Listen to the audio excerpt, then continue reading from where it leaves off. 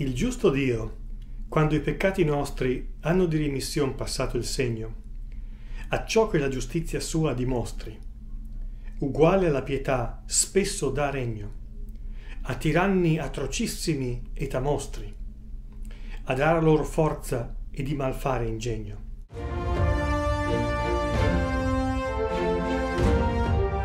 Welcome back to this series of videos dedicated to Orlando Furioso.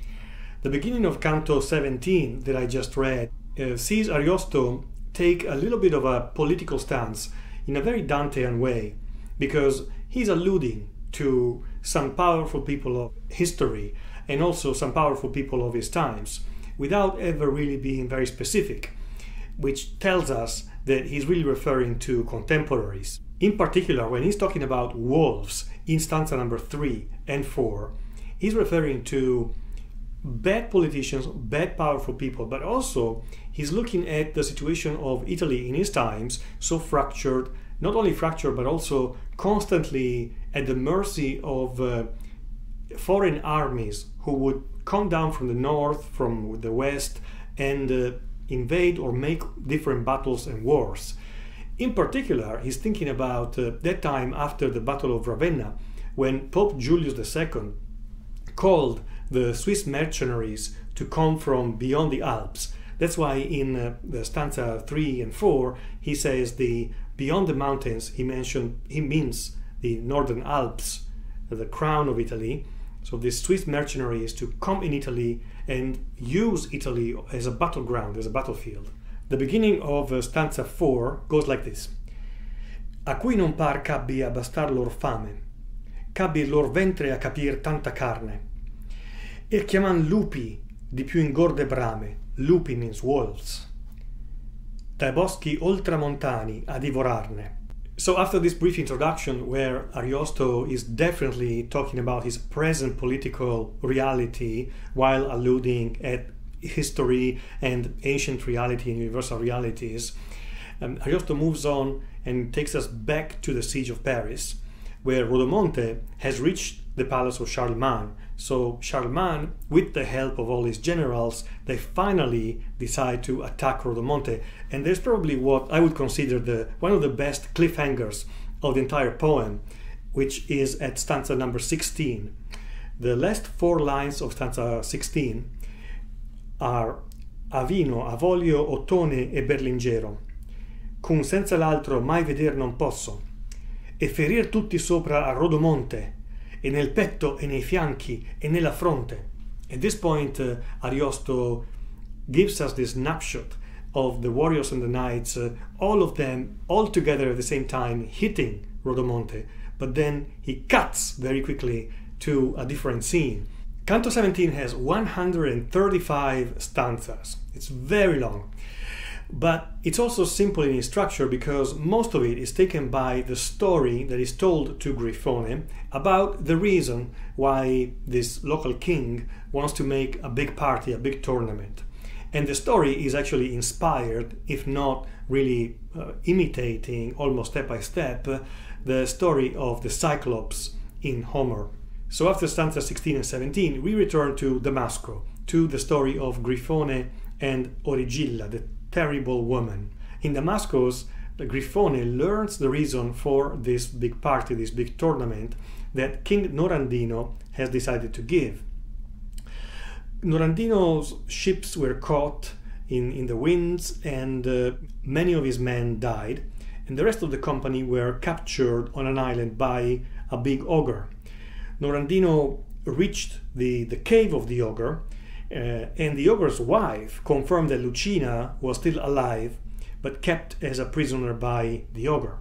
She um, plans for a way for, for the king to join Lucina, which uh, includes uh, uh a very Homerian, a very Odyssean way, because uh, the king is going to use parts of a, of a goat to conceal himself, to conceal so that the blind ogre is not going to see him and he's to exchange him, he's to take him for a, for a goat. He then helps the others to escape, what, but with Lucina still captive, he is forced to stick around, to linger, and uh, until finally around stanza 64, 68, uh, with a deus ex machina type of intervention, Lucina is finally saved and rescued. Mandricardo is the knight that we should be thankful for this, uh, for this rescue.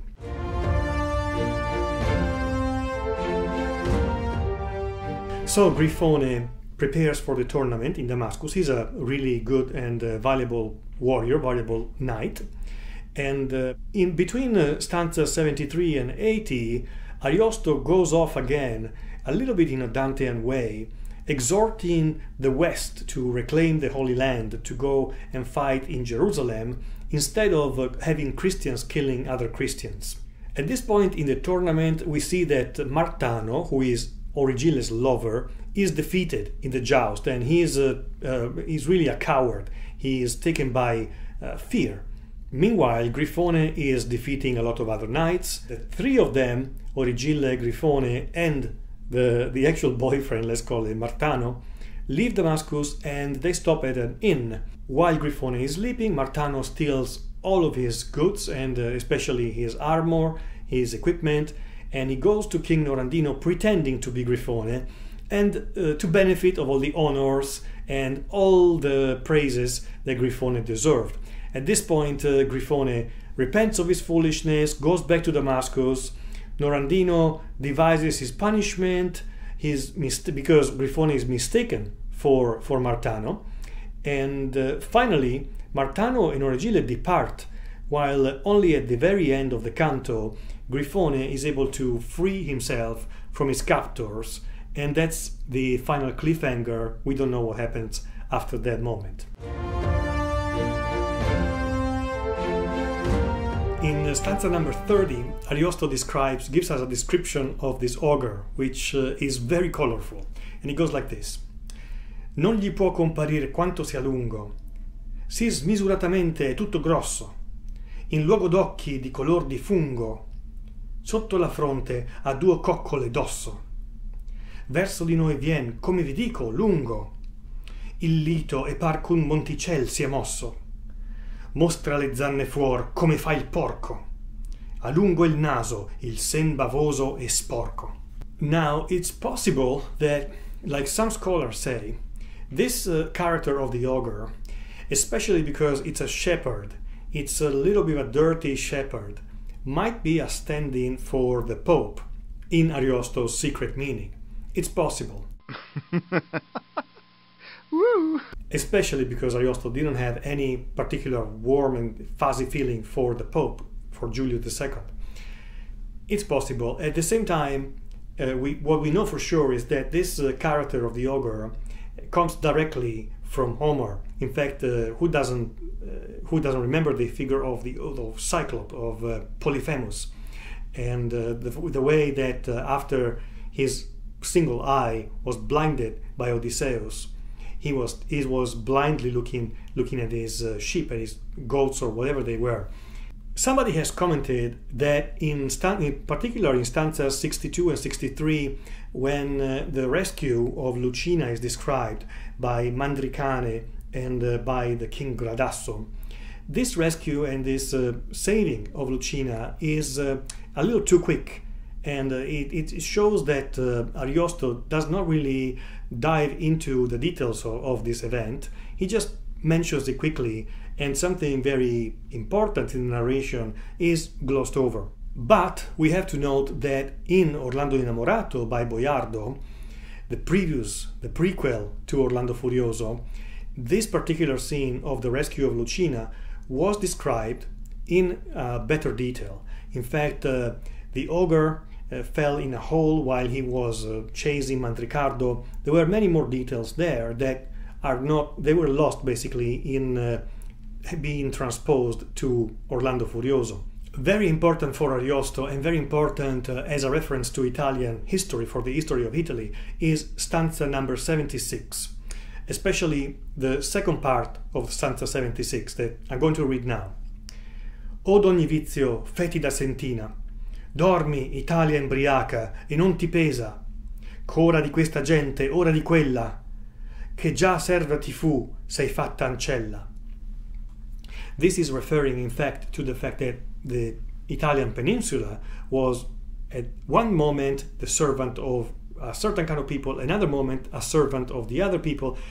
It was constantly, constantly conquered by different people in history. And in fact, this continued after Ariosto's uh, era as well. So it's kind of a, a destiny that happened to, to Italy to follow this type of pattern. But look how directly this stanza 76 is referring to the introduction that Ariosto did at the very beginning of this canto.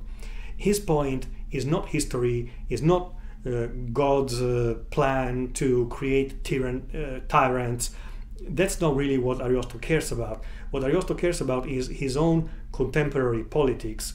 In fact, this political invective goes to the extent, in stanza number 79, that Ariosto refers talks directly to the Pope, who between 1513 and 1521 was Leo X, Leone X, Leo X, and uh, he says in stanza 79 Tu gran leone, a cui premon le terga delle chiavi del celle gravi some, non lasciar che nel sonno si sommerga, Italia, se la man l'hai nelle chiome. Tu sei pastore. This means you are the shepherd. So is it a complete coincidence that the first part of the canto has been describing a dirty, horrible, huge shepherd? Maybe it is, maybe it isn't. We don't exactly know. Woo! And of course, there were different popes during the time in which Ariosto kept revising Orlando Furioso, so he's not always referring to the same pope, to the same shepherd of Christianity. And it's beautiful how he uses the name Leo, that means lion, to make a, a bit of a metaphor, Ariosto, here in the second part of stanza 79, where he says, Scelto il fiero nome, perché tu ruggi e che le braccia stenda, sì che dai lupi il gregge tuo difenda. During his entire life and during his career, Ludovico Ariosto was always surrounded by wolves. He was skillful, he was intelligent enough to survive, to have his own um, profession, his, his own career survived despite all the wolves that, that surrounded him. But one of the worst wolves that surrounded him was in fact uh, his own boss, in particular Ippolito d'Este.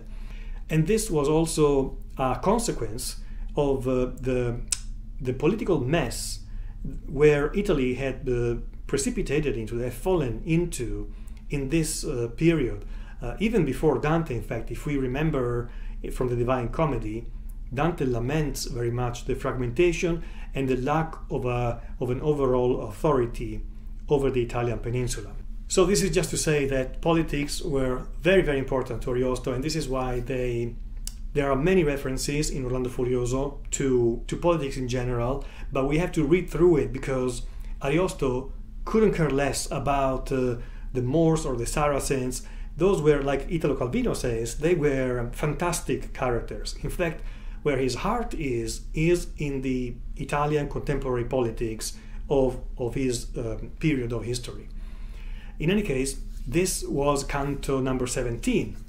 Please let me know if any part of this canto has impressed or hit you more than others.